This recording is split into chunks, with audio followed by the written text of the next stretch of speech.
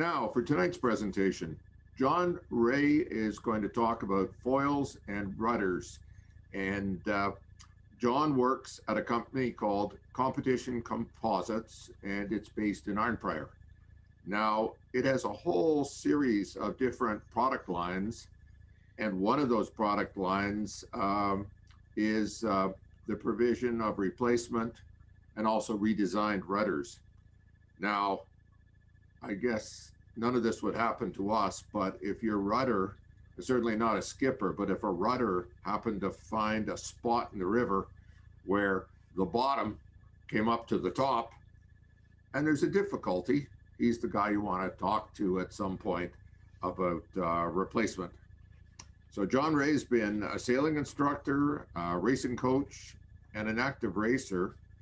And I guess like all of us, he says he's still learning uh, in spite of doing this for over 40 years. Uh, he currently has a J22 and he volunteers on the NSC board of directors. Uh, he is the NSC club treasurer. And John's also the sales director for uh, CCI, and that's Competition uh, Composites. So I'll turn things over to John and uh, we can proceed with the presentation. Park, thanks very much for the introduction. And Tony, thank you very much as well for putting this all together. I'm just going to go to share my screen if I can.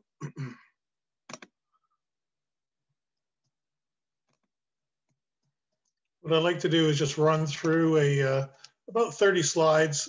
It'll take about uh, hopefully about 20, 25 minutes to run through that. Um, and then we'll do a little Q&A at the end.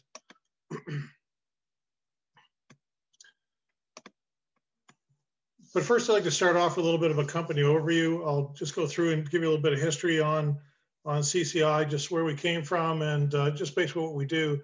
As Park mentioned, we've sort of stretched out beyond uh, uh, just rudders. Um, then I'll focus in on the, the rudder side of the production. It, it represents about 20% of our business, um, and most of that is in the, uh, the US, but there's about, uh, we ship all around the world. Um, as I was mentioning to the guys the other night, we ship to uh, uh, Australia, Hong Kong, pretty much everywhere.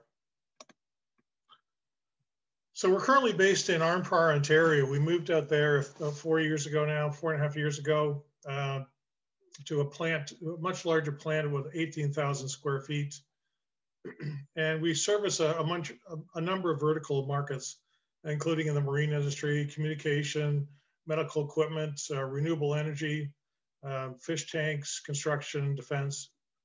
Um, and all those products that, that's, that fit those marketplaces are things like radomes, obviously the marine foils. Uh, you'll see a bunch of boat parts that we do. Um, we do gamma ray beds for Best Theratronics, um, some wind turbine blades, as I mentioned, fish tanks. And we've recently got into making huts and kiosks for, uh, for a number of projects, mostly for the uh, federal government.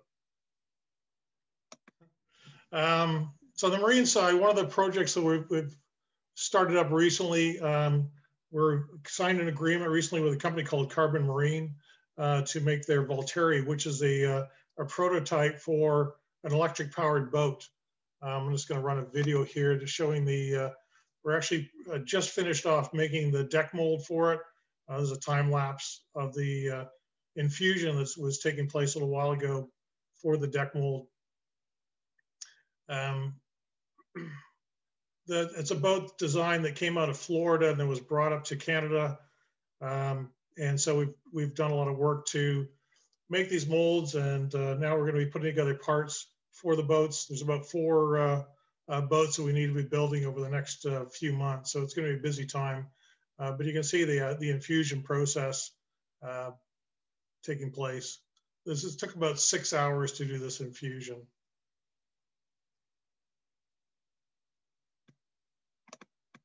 I'll just move on to the next slide.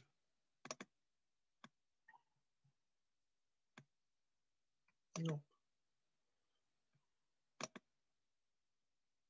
And we skipped one there. Nope.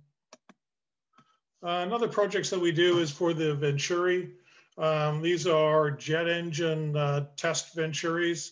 Um, so they're fairly large pieces. This one's about 30 feet long uh, that we did in our shop out in uh, Arnprior. Uh, we do these for MDS Aero. Which we usually do uh, probably about two or three complex uh, uh, composite projects every year. As I mentioned, we're starting to get into huts and kiosks. Um, these are actually kiosks that we did for the, the Canadian Border Security Agency. Um, these are going up on the border between Alaska and British Columbia.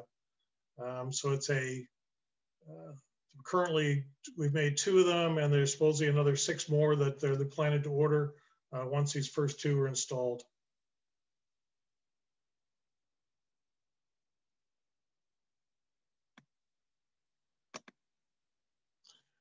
On the communication side, we do radomes, and these are uh, basically an antenna covers for whether it's radars or uh, any kind of communication ones. These are for search and rescue uh, for your uh, e or PERBs, sorry, the personal uh, rescue devices. So if you do fall overboard, um, they'll send out a notification. And these antennas are positioned all around the world uh, for detecting those communication and then for locating the position of emergency response uh, uh, indicators. We do these for Honeywell. We've been doing this quite a while. We've probably made about, oh, probably about 100 or so of these at least.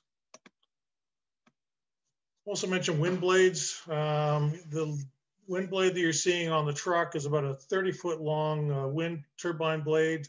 Uh, this is for a company out of Toronto. It's a prototype for a uh, three wind blades that go on the hub of the much larger wind blades out of, uh, uh, so the 125 foot long blades, these actually go onto the hub uh, to get more power out of the hub. So some of the older uh, wind turbines that are out there, by doing this uh, upgrade, they're hoping to improve or optimize the, the power of these by about 15%.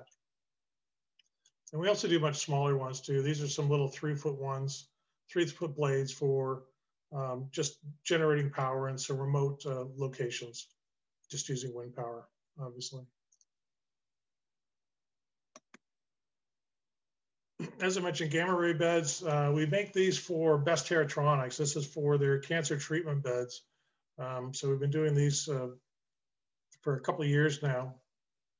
Um, they're a really nice piece. Uh, this is one of the reasons why we were able to keep open during the uh, pandemic is because we were doing this medical, medical equipment and as well as the government projects. Through this COVID-19, we've actually been able to stay open the whole time, uh, which has been great for us. Uh, but challenging at times. We've obviously had to make some changes to our, our processes and protocols, but uh, uh we have been able to keep working and we currently have about uh, 14 employees right now in the shop.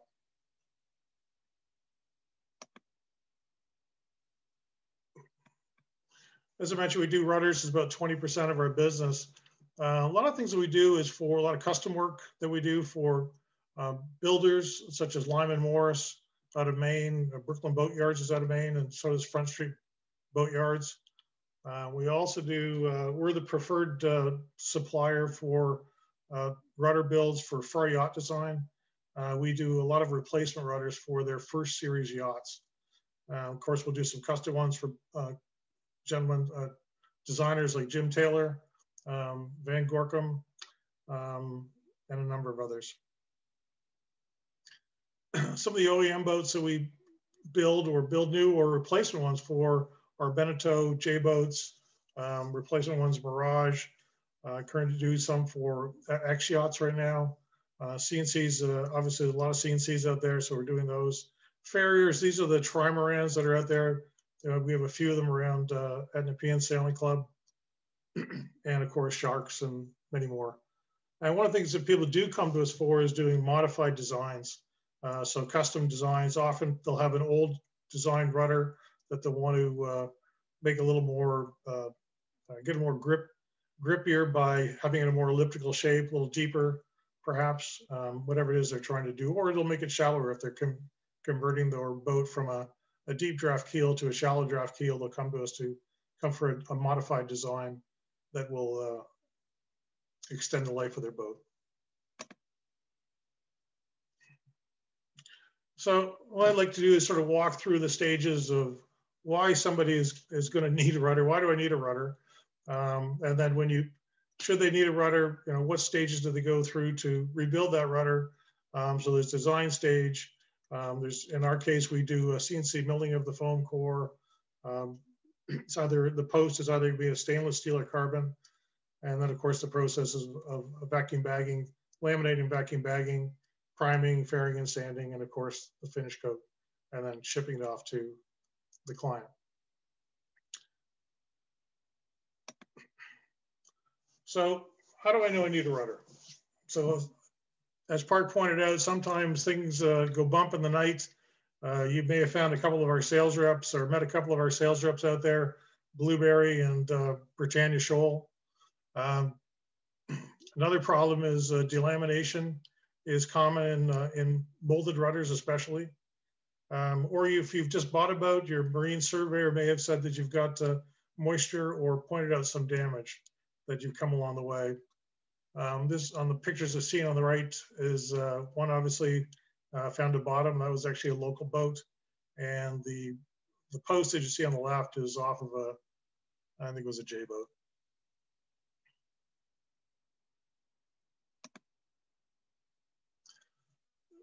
So a common occurrence in older boats is delamination, especially with a molded rudder. Um, you'll see, especially in the picture on the left, you'll see where that, it's got that clean edge all around the outside of the, the rudder blade, where that delamination has taken place. And so with a molded rudder, you have the two sides of the shell of the, uh, the mold. They're laid up with gel coat and resin, fiberglass, but then they're closed together and then they're filled with uh, expandable foam. So once they're filling with expandable foam, there's no way to see if there's any gaps or voids within that rudder. Uh, but you also have that seam that goes all the way around the outside edge, and especially at the top where the post uh, enters the rudder. So this it's a potential uh, for ingress of water. Um, so if you do any damage or hit anything, it doesn't have to be a hard impact, but even the flexing of the rudder will cause the that mold uh, seam to separate over time. You get the ingress of water. And then if you're in the north northern climates where there's freezing through the wintertime and you get that expansion and contraction, then you're going to get that delamination. This is where you see a separation. Uh, the rudder blade on the right was what's left of a, uh, I think it was an Abbott 36 that was sailing out down east. and they suddenly realized they had no steerage and there was nothing left but a bit of post and and that turned up on the shore a few uh, a few days later.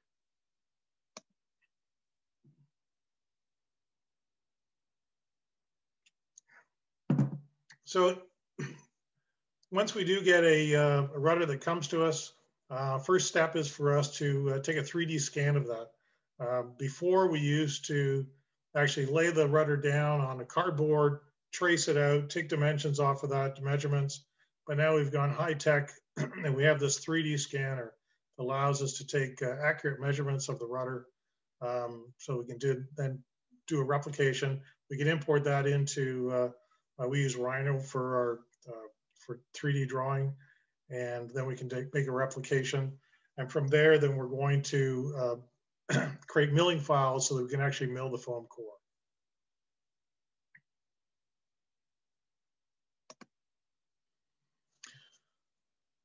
as I said, we take that 3D scan and then make it pretty and line it all up. And then you'll see we, we can make a 3D rendering of the, the rudder.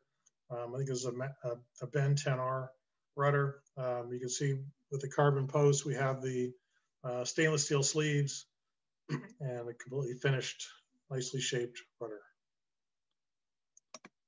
And from there, we can go to milling the foam core. Um, for foam core, we use an H80 structural foam. Um, and those are bonded together to get the correct height. If there's a post involved, then obviously we're doing two sides of two halves of the, the rudder and CNC milling uh, the outside foil shape. And of course, we have to flip it over and mill the inside for the, the, the shape of the post and any fins as well. Our shop currently has, we have two uh, three axis CNCs. One's a four foot by eight foot with a four inch a drop, the Z drop on it. Um, we've just invested uh, about a year ago in a five axis which is a two meter by five meter by one and a half meter Z drop.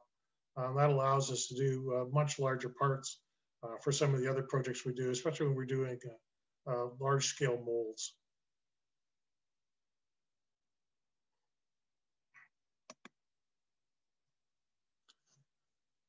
If we're doing a carbon uh, a carbon post, um, it's a little different production than say if you're doing a stainless steel and aluminum post. Um, for doing the, we have to create a kitting template for the carbon post. Uh, so basically we'll, we'll use the CNC uh, uh, to mill out the actual shape outline of the, um, the cloth, the carbon cloth that's gonna be cut. Um, so you can then lay out the cloth on it and then cut along those lines uh, for the pattern that's gonna be uh, used uh, to, to create the post. And then you can see on the picture on the right, this is actually the wet layup of the those pieces that are then overlapped and laid up. And then they're going to roll that um, into uh, uh, into a tube basically or into the mold um, with a, uh, a, plastic wrap on the outside, the external edge of the of the post, and of course on the inside. So you have a it's going to be a hollow tube post. Um, then we use that we vacuum bag that to then expand it um, out to the outside edge of the inside of the mold, if that makes sense. Um, and that's how we get a good solid shape. And uh, it's going to take on the shape of the mold. so here's the actual um, carbon post has been taken out of a, a mold. Uh, you can see that's uh, it's got the complete shape of the, uh, uh, uh the mold. So the post mold itself has been CNC milled. Um, and then of course it's vacuum bag, as I mentioned before. And then after we've taken it out of actually in the mold, it actually goes in and gets uh, autoclaved. So we have a, a long tube autoclave, which is uh, 20 feet long with about a 12, 12 inch diameter that we're able to basically cook and pressurize the uh, posts to make sure they're cured completely.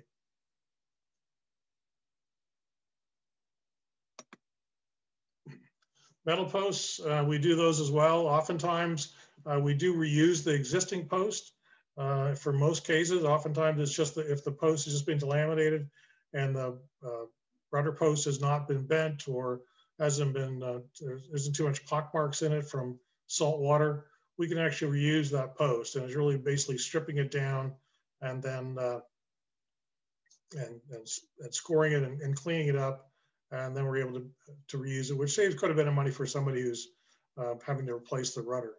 Uh, but if they do have to get a new metal post, we do uh, use a metal fabricator. Um, so it'll be designed up uh, from the original, taking measurements from the original post, or doing our best guess if there's not that much left of the post itself, if it's broken off or bent off.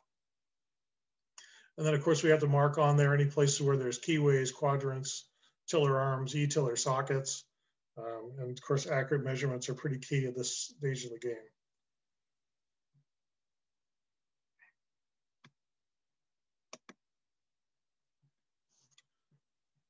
So once we have a post, we then can uh, bond it onto the, uh, bond the cores onto the post itself. Um, that's using a West System epoxy thickened with 407, um, and then to fill in any gaps and bond it along the, uh, the post itself.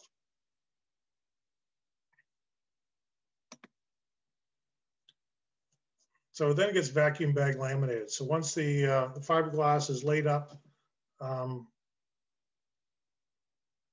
over the uh, uh over the core itself uh, with epoxy resin, and it gets vacuum bagged. So there's good pressure all the way around the uh, outside edge of the of the blade.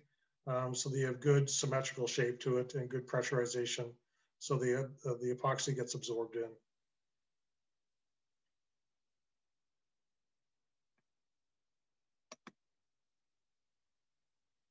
Here's an example of an infusion, uh, very similar to the uh, one you saw for the boat, but this is for a J160 that we did recently.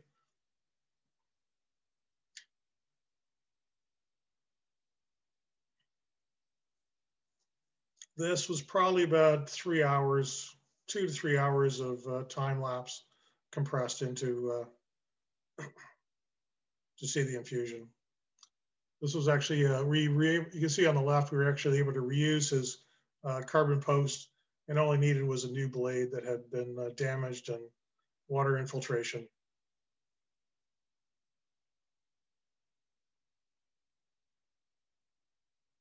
I think you get the general idea there.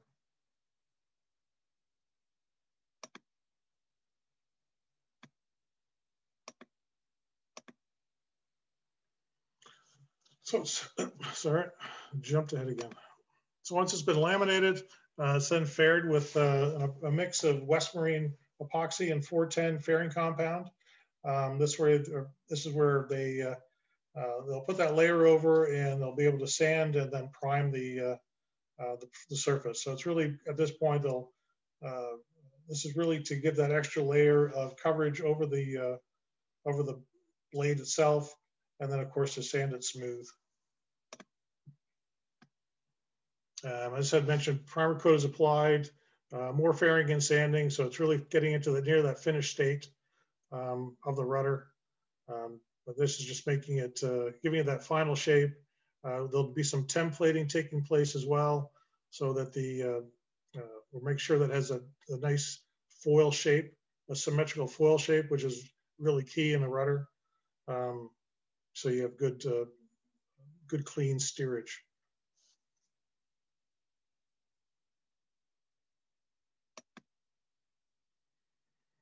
So for composite posts, we also have to add on sleeves. Um, oftentimes there are stainless steel sleeves that, and this is really the bearing surface for if you've got a, a bearing, um, uh, you need to have a good solid, good smooth bearing surface for those bearings to run on. Um, so top and bottom, obviously, you can see in the in the middle of this one, uh, we'll either put on a, uh, uh, there's a gator that's positioned here. Um, if you can follow my mouse, this section here is actually uh, for a quadrant, I should say, not a gator, a quadrant. Um, so we get it, we'll, we'll uh, add fiberglass or carbon, usually fiberglass, because it's an insulation against uh, any electrostatic electrolysis, I should say, and allows you to uh, fit the uh, quadrant on properly for, for wheel steered boats.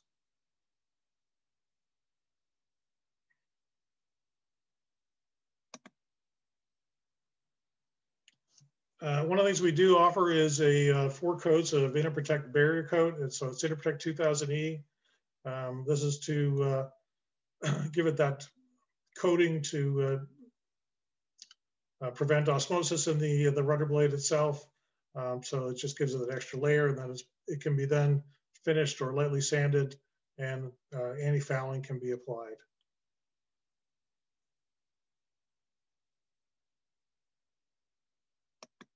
Oops, once again, jumping ahead. And then job done. This is when uh, it's shipped off and whether it's a, foil, a dagger board, or a rudder, uh, we do custom crates because uh, I mentioned before we're shipping all over the world. Um, and so they have to arrive safely and make sure that they're protected in their transport. So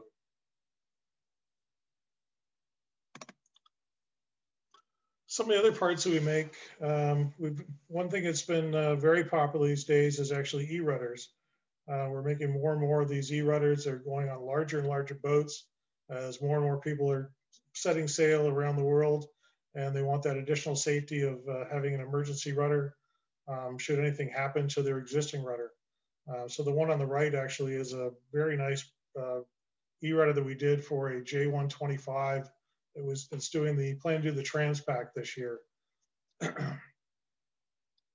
um, you can see on the left there's a tiller that we did and a transom uh, plate uh, which has the gudgeons on it and then of course the cassette um, and then about a, it's probably about a six and a half foot seven foot blade on there for uh, so the steering should anything happen another thing we do is uh, spinnaker poles we also do bowsprits um, the bowsprit you see on the bottom left there is off of a Farr 30. Um, so we're doing those for FAR 30s. We also do them for um, a, a, boat that we do the rudders for as well as a production boat, which is the MAT 1070. Uh, they're a company out of Turkey. Um, so they've been, uh, uh, they've done the 1010 and they're doing 1070. And they're also come to us and looking for production of a boat, a 1340. Uh, so we hope to expect that to start up uh, in the fall or over next winter.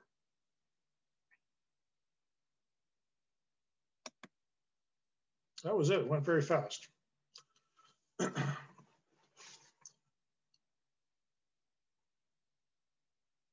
so I'll open up the floor to questions and I see a couple that came in on chat.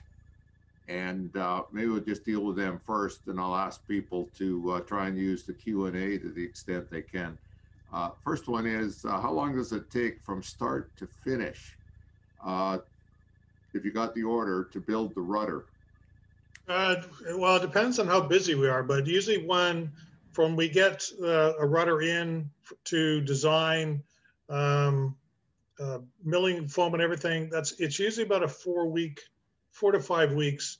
Um, right now with our production schedule, because it's, uh, it's coming into the, the spring launch time, um, right now the turnaround's probably in the eight to nine week, um,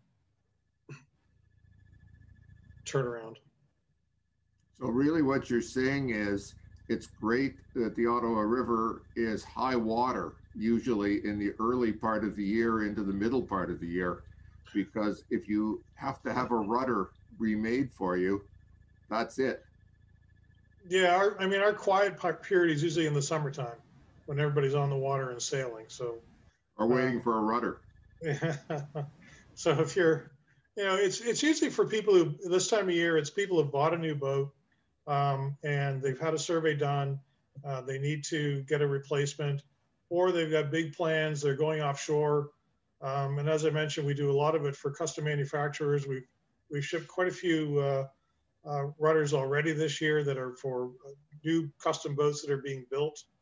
Um, so yeah, but local around here, it's you know we get the, the sort of the end of the season after people pull their boats out of the water um, and they see what damage they've done or or you know they they see a lot of water coming out of the of the rudder.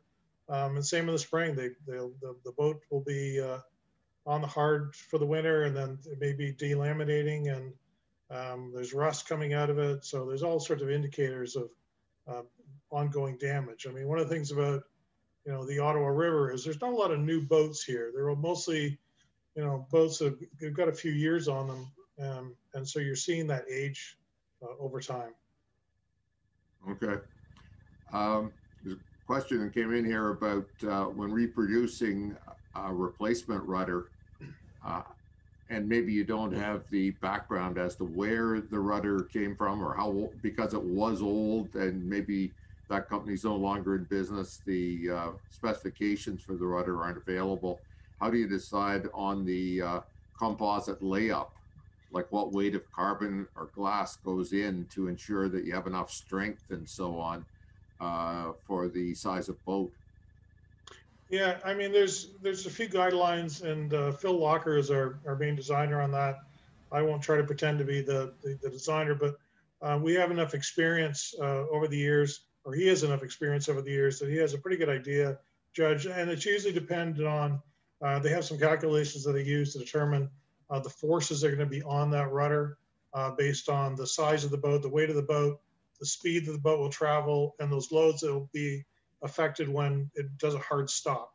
Um, so you're coming off a wave and you you have to do a hard turn of the rudder, and that's when it gets fully loaded. They he does some calculations to determine what the worst case scenarios are and what loads need to be uh, uh, uh, what it needs to support, um, and that's where uh, uh, so it's usually you know in the case of most rudders, uh, most fiberglass rudders with foam core, um, usually about a three layers of 17 ounce uh, infused is plenty. If we do in carbon, you don't need quite so many layers. Um, and it's the same with the uh, post as well. Um, so determining that up. If we don't have the original specs of the boat, we can usually figure it out from that. Okay. Um, I noticed that in each of the pictures you showed, John, that uh, the rudder post seems to be very, very close to the leading edge of the rudder, where I thought it might be a bit further back, closer to, let's say, the center of effort. Uh, it's an airfoil essentially that's vertical rather than horizontal, like a wing. Yeah, But uh, I thought it would be closer to the center of effort so that the rudder would be more balanced. Uh, well, you want, you want that balance a little further forward, actually. You, you know, so there will always be force on the rudder. Yeah, I don't know if it's because it's force on the rudder, but you just want that balance. Um, it's about fourteen percent, um, back from the, uh, from the leading edge. Okay. Yeah, because you don't want it just to uh, wander around, I guess. You want always some uh, force. You have to be able to turn one way, have to be able to turn another way. Okay. I just noticed it that way. Okay, we'll go over with some of these questions here. Uh, do you have experience in the company with uh, fabricating emergency rudders for a cruiser, a 50 foot cruiser? And I think you probably Yep. do. Yes, we do. Yeah, we've done a few, uh, much larger cruisers and, uh, so yes, if you, um, there's on our website, I don't know if we've got anything on our website for fifty, but we're currently doing a, uh forty-six foot E-rudder, um, a fifty foot E-rudder, and we've actually got about four E-rudders in right now. So they range anywhere from thirty-five foot boats up to fifty-six foot boats, I believe. Okay. Um, you have the profiles, I guess it's the cross section really, are the profiles for uh, most stock rudders like uh, an Edel uh, 820. Not necessarily. I'm, I'm not sure about the Adels. Um, we do have a number of um, stock rudders that we've built already um, using, you know, we've obviously, if, if a rudder has come to us, we'll take a scan of it or take the design and we'll, we'll save that. Um, this, but just, I'd have to look up at our, our database to see what we actually have or our library to see what we actually have in, in availability. But it's not too hard for us to uh, come up with a design for a new one. Sure, okay. Um, there's a question here about um, rudders for uh, small boats. And uh, I think that might have been years ago when your company first started. Um, is it still cost effective or is that still a way of doing, do you have a way of doing that? Uh, we we we don't we've, we've tended to steer away from the dinghy side of the marketplace. I mean, if somebody is you know absolutely must have one, um, we still make them for the CL16 um, because there's nobody making CL16 rudders anymore or centerboards. Um, you know, we have we've done the odd albacore rudder and centerboard. We do them. It's not it's not a focus for our business. Uh, we have found the dinghy market is just a, it's a very tough business to make any money at you're doing uh, you know when there are molded parts out there for much less expensive. Uh, we have found that uh, uh, build, building rudders for boats that are about 25 feet and, and bigger, um, that's when we start making money. It's uh, and it really it's about 30 feet or more to be quite honest. But it's uh, the small boat market is a tough market. That's interesting. It almost sounds a bit like some of the sailboat manufacturers back in the late 70s and 80s, where Yeah. they moved up to larger and larger boats because the uh, margins on those were much better. Yeah, that's correct. Okay. Um, can you build extendable carbon fiber tiller extensions? No. no. Okay. Uh, No, we don't. I mean, if you want a tube, we can get a carbon fiber tube, but uh, it's not a. Again, it's it's uh, that type of ex- expanding one, or uh, you- you're looking. You're talking about the twisting one and then extending out and twisting the lock. No, we don't do that. Okay. All right. Um, many people have rudders with quite a bit of play in the rudders due to wear in the rudder shafts or in the bushings. Uh, do you have any recommendations for local suppliers for new Delrin rubber bush or rudder bushings? Uh, Duran, uh, we can, if you want, we can uh, provide a Delrin bushing, um, depending on the size of it. Um, but yeah, if you've got the dimensions, we can quote on a, a making a replacement Delrin bushing. That's almost a machine shop job though, isn't it? If It you'd it really is. We can, we can do it on our CNCs. Yeah. um, But it is a machine shop job, but we can do it on, any one of our CNCs will do it as well. Um, it seems to me that's something that can be done, as you say, with a machine shop and perhaps easier and more routine for them than you. Yeah, It pro- yes. And we do, uh, um, and sometimes we do outsource it depending on uh, the number of things, number of uh, parts involved. And sometimes it's just easier for them to do it too. Sure. Um, I had a question here. I guess they were intrigued with one of your other product lines, and you showed that kiosk that was being built for the border, Yep. for uh, border services, be, uh, for a spot between Alaska and I guess uh, is it the Yukon Uh, British Columbia. or British Columbia? Okay. Yeah. Um, why did they actually do it? Is it because of the weight or the durability, or because you had more an ability to get more? Uh, I guess it's one piece. Well, the, in the northern climate, they wanted to go to a composite structure because in the northern climate, wood, um, wood and metal do not stand up well in the, in the deep cold. Um, so they're, by building it out of composites and it has a, it has a four inch foam core and then it's laminated on either side uh, with a gel coat finish, which they then put siding over. Um, but it just gives that le- extra level of insulation and it'll be more durable over time to uh, to withstand the, the the cold conditions. Okay. Um, next week, we're going to be talking, as you heard, about uh, the boats that fly over the waves rather than uh, the rest of them like they'll go through the waves. Do you build any of the foils for those sorts of boats? No, it's the same type of thing. We've done some repairs for some of those boats that have managed to find hard spots on the river, but no, we don't. Uh, we don't make uh, those foils. Okay. Uh, let's see here. The questions are all jumping around in front of my as I'm trying to find them. Um, there's comments here on. Uh, do you have any um, words to say about the construction of the foils on the America's Cup boats? I think they're absolutely spectacular. Mean, there's no, there's no other way to describe it. I mean, when I first saw those monohulls full, foiling on the wings hanging out the side, it was just, uh, it's incredible. The, the, the engineering that's involved in that is just spectacular. Right. Um,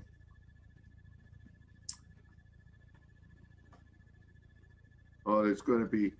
I'm not sure you can answer this, or it's even. Now, if he wants to, my email is on the page. If he wants to send me an email, somebody's asking for a quote on an e-rudder.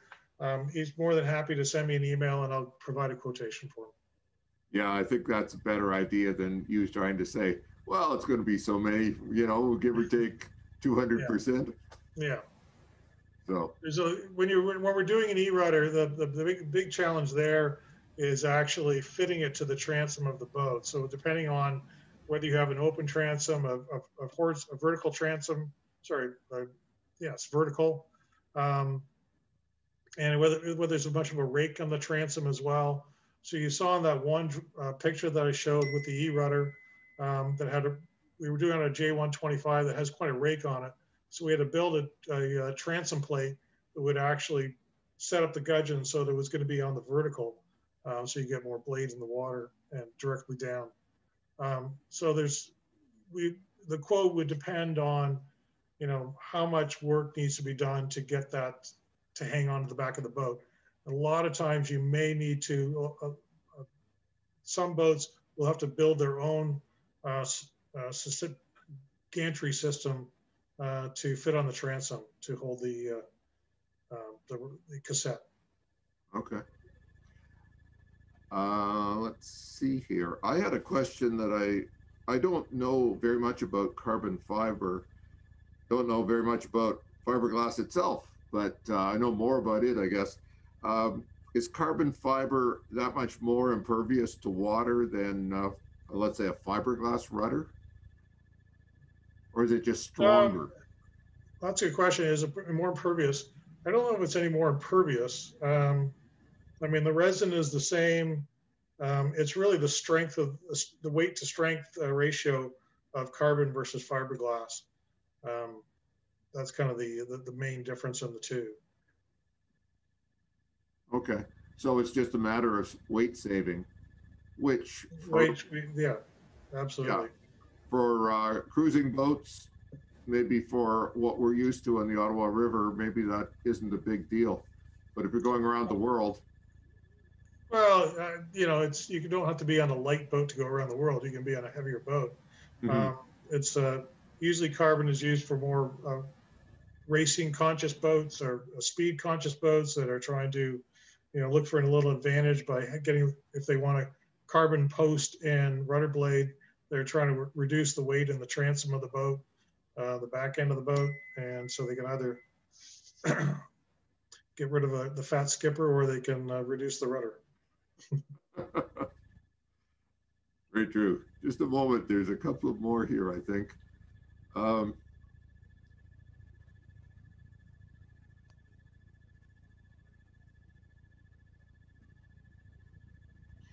Uh, there is, somebody asked about a transom hung rudder. Is there typically any internal structure other than a foam core?